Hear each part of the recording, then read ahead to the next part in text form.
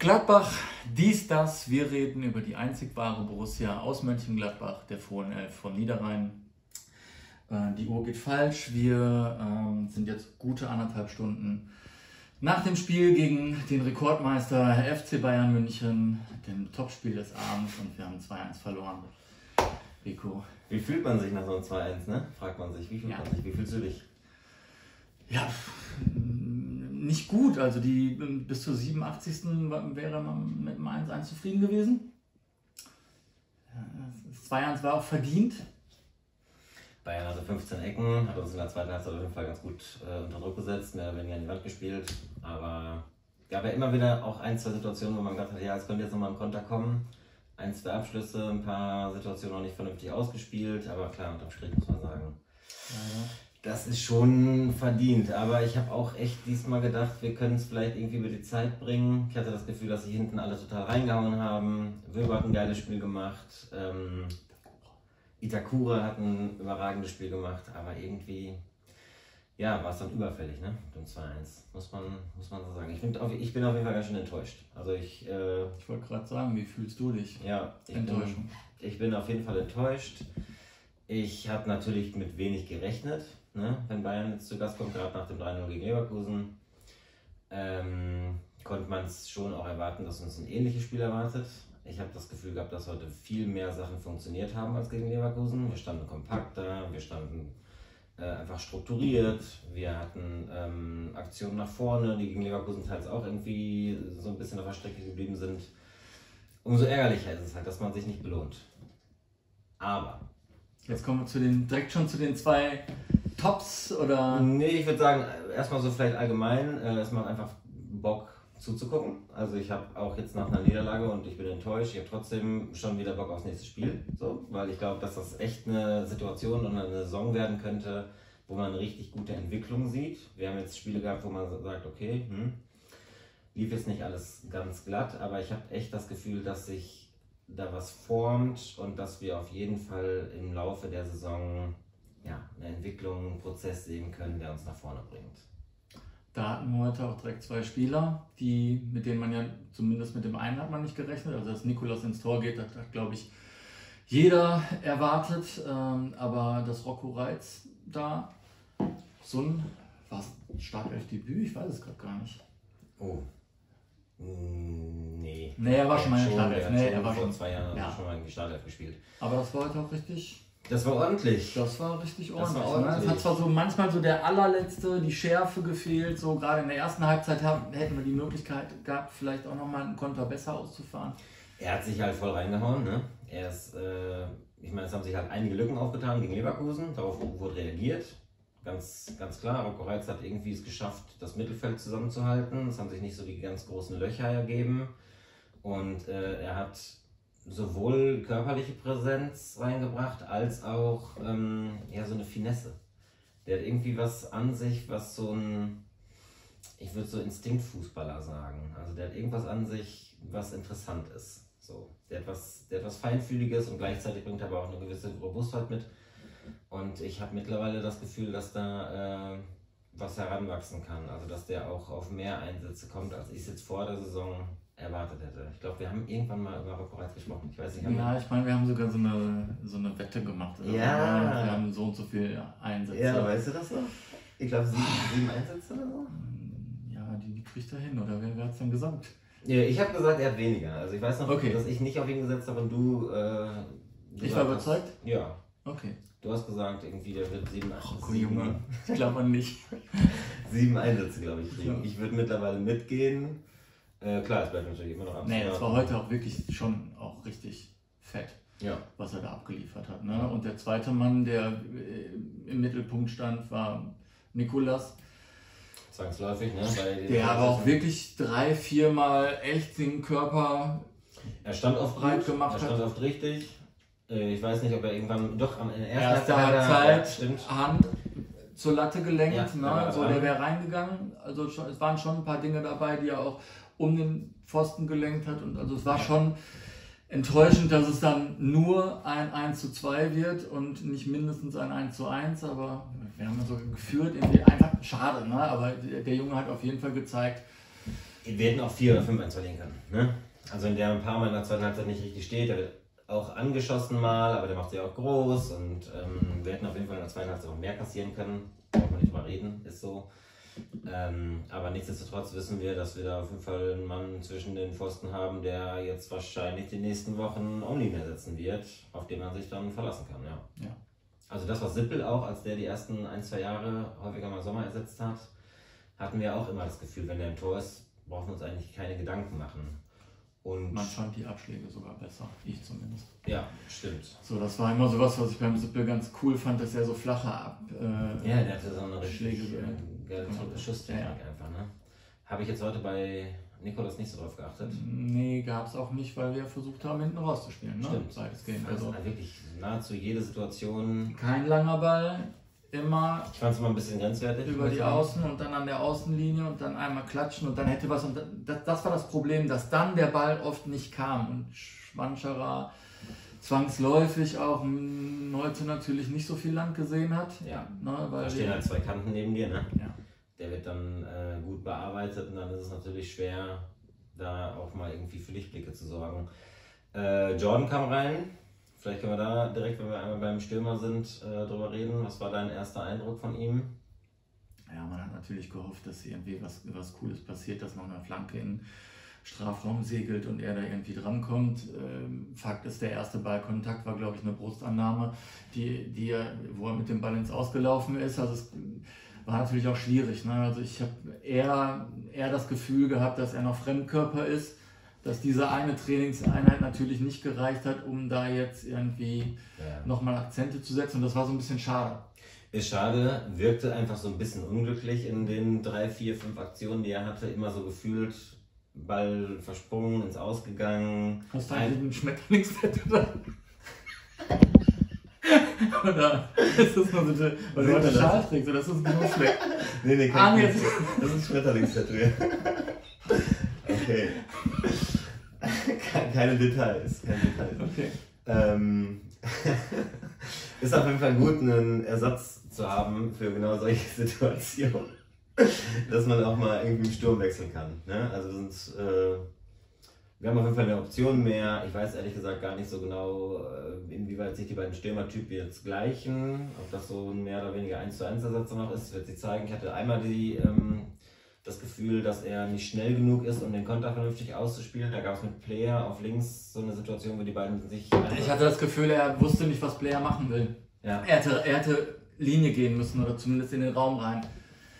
hat er, ich weiß nicht. Äh, Nee, er hat irgendwie, es, war, es wirkte unglücklich, Ja. ne? muss man ganz ehrlich sagen. Hack haben wir heute gar nicht gesehen, oder? Stimmt, ja. Stimmt, Hack kam gar nicht rein, ne? So, äh, bleiben wir nochmal bei den Lichtblicken. Ich würde auch Lukas Ulrich dazu zählen. Oh. Ich erinnere mich an dieses eine Testspiel, wo er einfach äh, vorne rumgewirbelt ist und ich dachte, ich hatte irgendwie in dem Moment eingeschaltet und habe gesehen, oh Gott, was ist das denn? Das ist ja völlig äh, drüber, aber halt in einer guten Aktion, wirklich eine gute Aktion nachgesetzt. Und äh, heute kam der wieder genau dahin, wo ich ihn auch äh, abgespeichert hatte. Gallig, mutig, zweikampfstark. Also Genau. der hat sich echt reingehauen in den Zweikampf, hat ein, zwei Balleroberungen noch gehabt, dann äh, Sich durchgesetzt. wie lange hat er gespielt? 20 Minuten knapp? 15, 20 Minuten, Ja. mit Nachspielzeit bestimmt Ja. 20 Minuten. Ähm, ist auf jeden Fall für Luca Netz mehr als ein Konkurrent. Ich weiß nicht, inwieweit das mit Wöber auf links jetzt eine Dauerlösung werden könnte. Hoffentlich. Jetzt haben wir ja Elvedi plötzlich wieder. Genau. Also noch hat das Transferfenster in Portugal, glaube ich, auf. Und in äh, hier die ganzen Wie ist das? Emirates äh, Ja, Staaten gut, ja, glaube ich jetzt erstmal nicht dran, dass da was passieren wird. Ähm, aber Elvedi ist ja heute reingekommen und ähm, Ja. kann jetzt auch gut sein, dass wir da eine Option mehr haben. Ne? Und bei so, man, man munkelt ja immer, dass äh, wenn er so, er hat im Vertrag stehen, dass wenn er so und so viel Einsätze dieses Jahr hat, haben wir nochmal die Möglichkeit, nochmal zu verlängern. Ne? Und Ah, ja. wenn jetzt wirklich in den nächsten oder in den letzten acht Tagen sich keiner mehr findet, glaube ich aber auch, dass Elvedi dann, Dass er einfach bleibt. dass er eine Option auch ist. Ne? Und dass man dann Wieder vielleicht aber auch, Elvedi.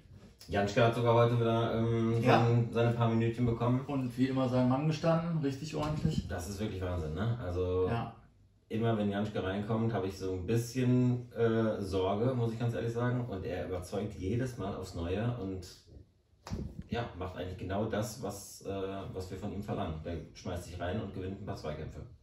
Also was hat heute gefehlt? Fünf Minuten oder vielleicht ein bisschen mehr Mut nach dem 1 zu 0, dass man vielleicht auch irgendwie aufs zweite Tor spielt? Oder war es einfach so, dass die zweite Halbzeit, dass man da einfach den aufkommenden Druck... Wir hatten ja sogar nach dem 1-0 noch eine Chance. Es gab ja einmal diesen äh, Rückpass auf Weigel, mhm. wo Weigel aus 16 Metern schießt, kurzes Eck. Und dann gab es so eine Tumultsituation im Strafraum. Da hat er, hat er glaube ich, nochmal den Ball bekommen und irgendwie nochmal eine Flanke geschlagen. Äh, da hätten wir auch mit ein bisschen mehr Fortun, Fortun äh, 2-0 in Führung gehen können. Also so unwahrscheinlich war es jetzt nicht. Ich weiß allerdings nicht, ob das viel am Spielverlauf geändert hätte. Bayern wäre wahrscheinlich auch in der Lage gewesen, 0-2 noch irgendwie zu drehen. Ja, also, wir haben uns ja auch gewundert und haben während des Spiels gesagt, so jetzt haben wir fünf, fünf Wechsel seit zwei Jahren. Und äh, ähm, bei einer Mannschaft wie Bayern München macht das einfach nochmal was ganz anderes aus. Können einfach nachschießen. Na, wo du denkst, ach krass, den haben wir ja noch und warum spielt der nicht und warum, ach Gnabry gibt es ja auch noch und so. Also es ist schon so, dass der Druck schon auch irgendwie zu groß war und äh, uns dann die Entlastung gefehlt hat die nicht mit Jordan kam, kommen halt, auch nicht mit Da kommen halt Spieler mit äh, an die 100 Millionen Marktwert einfach 10, 15 Minuten vor Schluss rein und haben ihre volle Power und überlaufen uns. Ne? Aber du hast 5 Minuten vor Schluss gedacht, wir schaffen das, ich hatte, wir, wir heute, das. Ja, ich hatte ein gutes Gefühl, so ab der 70. habe ich gedacht, ah ja, irgendwie nur noch 20 Minuten. Bayern hat jetzt nicht so diese ganz, ganz, ganz glasklaren Chancen. Klar, der hat hier und da mal, äh, ne? Aber es war wie Handball, ne? Es ging die ganze Zeit ja, um den 16er rum. Mit ein bisschen Glück, mit ein bisschen Glück ähm, hätten wir es heute auch echt über die Zeit bringen können. Ist leider nicht passiert. Dann ist es äh, Tell, der eingewechselt wird, der immer noch auch so ein bisschen unter dem Radar läuft, aber irgendwie äh, wohl Bayerns Zukunft sein soll. Sonst, äh, ich glaube, da stand auch mal ein Transfer in dem Sommer jetzt im Raum, wurde ganz klar abgelehnt. Ja, die haben dann halt so einen von der Bank, den die einfach noch bringen können, ne? neben äh, Gnabry. Und das haben wir halt nicht. Und das ist auch in Ordnung. Wir sind auch immer noch Borussia Mönchengladbach, ne? darf man nicht vergessen. Und man darf auch zu Hause gegen Bayern verlieren. Auch so wie heute. Auch ne? so wie heute. Wir hatten Schulterschluss, Fans haben wieder gesungen, Gladbach ist der geilste Club der Welt. Und äh, die von Niederrhein wurde angestimmt. Stimmt. Und geht ein Spiel auch mal verloren. Das war richtig laut. Ne? War richtig nice. So. Und das ist ja auch einfach das. Wir merken, die Fans nehmen diesen Prozess an. Es ist ein Neuanfang, das wissen wir alle. Es sind viele Spieler gegangen, neuer Trainer. Und ich merke ein Kribbeln. Ich merke ein Kribbeln im gesamten Verein, egal mit wem ich rede. Alle haben weiterhin Bock. Ist natürlich so ein bisschen die Frage, wie lange hält das an? Ne? Verlieren wir jetzt in Darmstadt, verlieren wir danach zu Hause gegen Leipzig und stehen dann irgendwie mit einem Punkt nach fünf Spielen da, dann weiß ich nicht, ob die Fans jetzt immer noch komplett dahinter stehen, aber ich glaube ich glaub sogar schon. Ich glaube, wir haben jetzt echt ja, ein bisschen Kredit. Also, also ich glaube, jetzt ist es aber schon so, dass wir gegen Darmstadt nicht verlieren sollten. Nicht verlieren sollten. Ja. Also da wir haben aber letztes Jahr noch in Darmstadt verloren. So ist es nicht, ne? Im Pokal. Sind wir rausgeflogen in Darmstadt. Und das auch äh, nicht unverdient. Die haben gut gespielt. Kämpfermannschaft. Ja, das haben wir jetzt auch ein paar Mal abgerufen.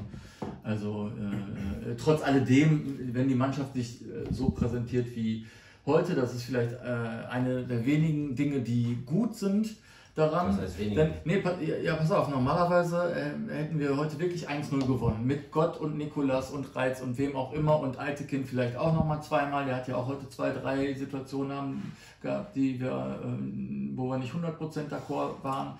Stand halt so, aber hätten wir jetzt 1-0 gewonnen, dann würden wir, dann wäre es ja früher so gewesen oder in der Gladbach DNA, so fühlt es sich zumindest an, dass du dann die nächsten fünf Spiele einfach verlierst. Mhm. Na, und haben wir nicht auch gesagt, lieber, lieber, lieber verlierst du dann auch nochmal gegen Bayern und startest halt von relativ weit unten in der Tabelle, aber musst dann so Spiele wie gegen Darmstadt und äh, danach kommt Leipzig.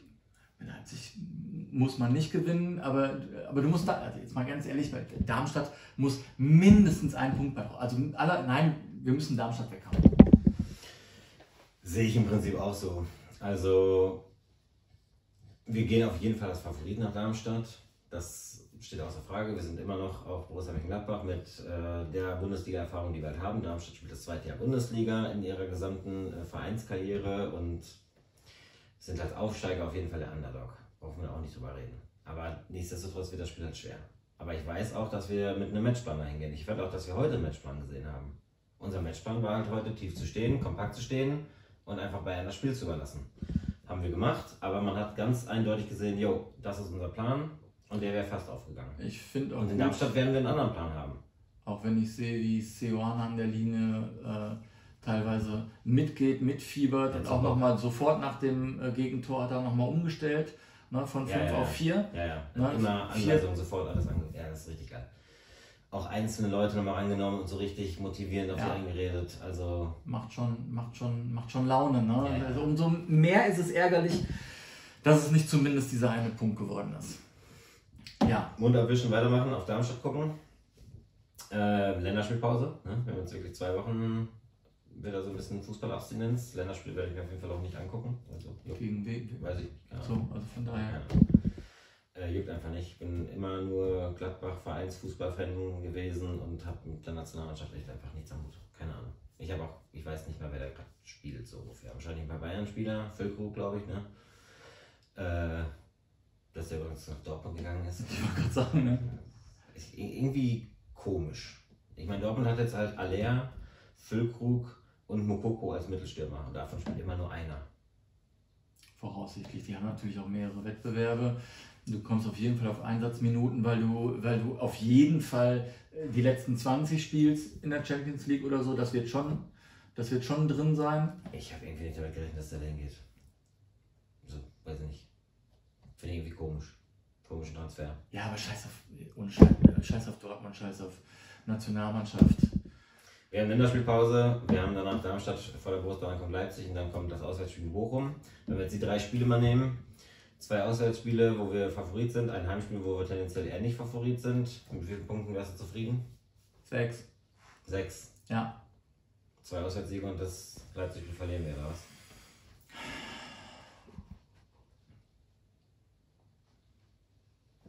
Sieben. Nein, Spaß jetzt, was soll ich sagen? Ich will natürlich, äh, ich, ich will eigentlich noch gar nicht an Leipzig und Bochum denken. Es ist jetzt, jetzt müssen wir erstmal gucken, dass, äh, dass die Jungs, die angeschlagen sind, Skelly ist äh, Skelly ist raus und sah auch irgendwie so aus, als wenn es irgendwie Oberschenkel, früher hätte man Zerrung gesagt, heute ist er keine Ahnung, was für ein, Ein Teilabriss in irgendwie. ja, nee, ja, stimmt, das sah unglücklich aus. Ne? ja, Also gut aus. Situation, Halt vor allem auch sofort Ja, ja. Also angezeigt. im Fallen noch die Hand hochgehoben. Haben jetzt nicht so viele Rechtsverteidiger. Ja, de facto halt keinen weiteren, außer Walde. Ja. Aber ich kann mir nicht vorstellen, dass. Aber gut, da hatten wir jetzt auch wieder Optionen. Ne? Also Janschke, Elvedi und ich wette, dass auch ein Itakura theoretisch rechts verteidigen könnte. Also, das ist, glaube ich, natürlich scheiße, wenn er jetzt ausfallen würde. Aber ich glaube, das wäre jetzt nicht so ein großer Verlust, wie wenn. Keine Ahnung. Ja, eigentlich. Doch, wir sind eigentlich momentan wieder ganz gut doppelbesetzt, ne? Äh, dies, das, wir haben über einen noch gar nicht geredet. Wie fandst du Friedrich? Hatte heute auf jeden Fall einige gute Aktionen. Mhm. Also, dass der Kopfball stark ist, war ja eigentlich schon immer klar. Ne? Hat einen an die Latte gesetzt. Ja. Das war seiner. Ähm, generell bei Standards immer gefährlich. Auf jeden Fall. Ähm, ja. Defensiv äh, viele gute Aktionen gehabt. Ähm, Ruhig geblieben am Ball. Es gab auch so Situationen, wo du dachtest, er schlägt den jetzt lang und hat den nochmal, also erste Halbzeit, ne, sah jetzt gar nicht so schlecht aus. Nein, Sah heute wirklich wie eine äh, Option aus und er hatte sogar ein Laufduell, wo ich mich gewundert habe. Gegen, gegen Müller? Oder? Ja, es war gegen Müller, ja. Ja. ja. ich weiß nicht, wie es ausgesehen hätte, wenn das Laufduell gegen Sané oder was gewesen wäre, aber ja, nichtsdestotrotz, der hat heute eine absolut solide Partie gemacht. Also ich habe jetzt heute keinen negativen Punkt, der mir irgendwie besonders aufgefallen wäre an seinem Spiel. Äh, habe ich aber eigentlich generell bei wenigen heute. Ich wollte gerade sagen, gab es einen Flop? Nee, ne? Also Ich habe auch schon mir vorhin so Gedanken gemacht, ja, reden wir jetzt heute wieder über Top 2, Flop 2. Ich wüsste jetzt gerade nicht, wen ich als Flop bezeichnen würde. Es ist ähm, eigentlich alles, alle haben Einsatz gezeigt, alle hatten gute Aktionen mit dabei. Ähm, sind halt eher so ein paar herauszuheben, die sich positiv aufgetan haben, haben wir gesagt. Reiz, äh, Nikolas. Ich fand, ähm, Neuhaus hatte heute so ein bisschen Hü- und Hot-Situation. Ne? Der hat auf jeden Fall auch Zweikampfstärke bewiesen heute. Ähm, seine Pässe waren heute nicht ganz so präzise. Hatte immer mal wieder so einen ziemlich unnötigen Fehlpass so im Aufbau, wo man dachte, oh nein, jetzt spielt er wirklich den quer fast genau in die Füße von dem. Ähm, ja, aber möchte jetzt auch nicht mich zu negativ über, darüber äußern. Also es ist schon in Ordnung gewesen. Eigentlich wirklich durch, durch die Bank weg. Oder ist dir irgendwas Negatives gerade im Kopf? Nein, nein, Einfach nicht, ne? gar nichts.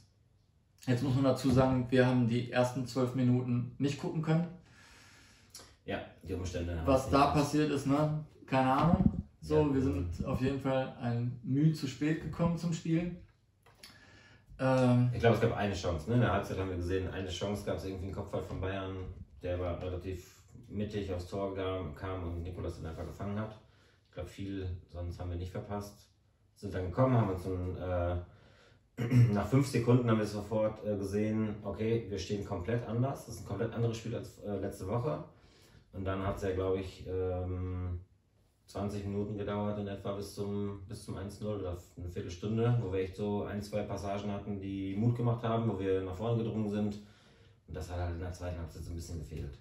Also die Entlastung, ne? Generell. gab so gut wie gar keine und die wenigen Chancen, die wir hatten, äh, ähm, haben wir einfach ähm, kraftlos. Vom- Also es hat immer so, es hat immer ein bisschen was gefehlt, ein bisschen Schärfe der letzten, der, Er hat auch diese, so dieser ganz konkrete Zug zum Tor. ja, Wenn ich jetzt drüber nachdenke, ich weiß, wir wollen jetzt nicht in der Vergangenheit bleiben, aber so ein, so ein Tyram hätte vielleicht jetzt irgendwie nochmal ein 1 gegen 1 gesucht und wäre nochmal Richtung Tor gezogen. Das hat mir auch so ein bisschen gefehlt in den Situationen, wo die Chance sich aufgetan hätte. Player oder auch dann Jordan oder so, ne? dann kommt Onora rein und wir denken so, jetzt haben wir noch mal Ja. die Möglichkeit. Wird gefoult. Zumindest irgendwie auflaufen lassen, keine als er Ahnung. durch die Beine gespielt hat, war, war andersrum hätte ich den ehrlich gesagt auch nicht haben wollen, aber in dem Moment haben wir natürlich beide aufgeschrien und haben faul geschrien. Ja, und kurze Zeit später fällt dann auf der anderen Seite das 2-1, ne? Und das wäre nochmal unsere eine Situation gewesen, wo wir vielleicht nochmal einen Freistoß scharf vors Tor hätten spielen können. Ja. So, jetzt haben wir wie in jedem Spiel äh, gefühlt 10 Minuten Nachspielzeit und haben diese allerletzte Chance. Mhm. Na, es gibt nochmal einen Freistoß und Nikolas rennt nach vorne und du denkst, so, jetzt gibt es diese letzte Chance und Onora kriegt den. Kriegt er nach 16 Metern halb äh, rechte Position einfach so vor die Füße und ich habe gedacht, Junge, jetzt baller halt das Ding drauf oder flank. Oder einmal mitnehmen, gucken, was passiert und dann vielleicht auf Ich Jordan hab- oder wer auch immer. Es waren diesmal alle vorne, aber die allerletzte Chance, Ich- so kläglich zu vergeben, es, äh, tut, tut einfach weh, so ehrlich Ja, muss man sagen. also als wäre er selbst einfach nicht sicher gewesen, was mache ich jetzt am besten? Schieße ich oder flanke ich? Und dann lupft er den da irgendwie mehr oder weniger so drei Meter übers Tor. Bitter. Wirkte irgendwie so ein bisschen hilflos. Ja. Oder unüberlegt oder wie auch immer. Oder zu viel nachgedacht. Ich weiß es nicht. Er war einfach noch nicht im Spiel. Ne? Er kam ja relativ spät, hat mich übrigens auch gewundert. ja. So, aber lief ja. Und Ja. er hätte auch wirklich eine Waffe werden können. Ne? Ja. So in der. Ist ja auch irgendwie nicht so verkehrt, so einen Spieler dann mal von der, von der Bank bringen zu können, ne? um einfach auch nochmal einen Impuls setzen zu können. Aber der ist heute so ein bisschen ausgeblieben. Ja. Ich hatte gedacht, dass er vielleicht äh, vorne nochmal einen Ball festmachen kann, Konter gehen kann, so wie. Ecke rausholt, Freischuss Ja. rausholt. Vielleicht auch mal eins gegen eins geht, Ja, in den Strafraum zieht. Da war ist heute einfach irgendwie nicht passiert. leider in der zweiten Halbzeit zu wenig Zug. Ja. Ja. Haben wir noch was auf unserer Bucketlist? Äh, weiß ich nicht. Ich Was schau mal ganz die? kurz. Ach ja, die Technik wurde wie immer präsentiert von äh, Marcelo Pletsch Solutions. Na? Äh, bitte schreibt uns unbedingt äh, in die Kommentare, was das da an deinem Hals ist. Das würde ich gerne noch einmal geklärt wissen. Ja, wo das herkommt. Na, wo das herkommt. Es ist, Das ist ein Schmetterling. es ist doch ein Schmetterling. Ne? Das ist ein Schmetterling. Das ist ein Schmetterlingsknutschfleck vielleicht. Nein, Nein. es ist kein Ja, also, äh, wenn ihr das rauskriegt, äh, schreibt es bitte gerne rein. Vielleicht, vielleicht wissen es auch schon viele Freunde von Nein. dir. Nein, das weiß keiner. Nein. Das war eine Überraschung für heute. Wir sind überhaupt nicht warm hier unter dem Schal. Ja. Wir wollen nicht verstecken, Ja. Also Leute, vielen Dank fürs Zuschauen. Ähm, haltet den Kopf oben. Gladbach ist der geilste Club der Welt. Bis in zwei Wochen.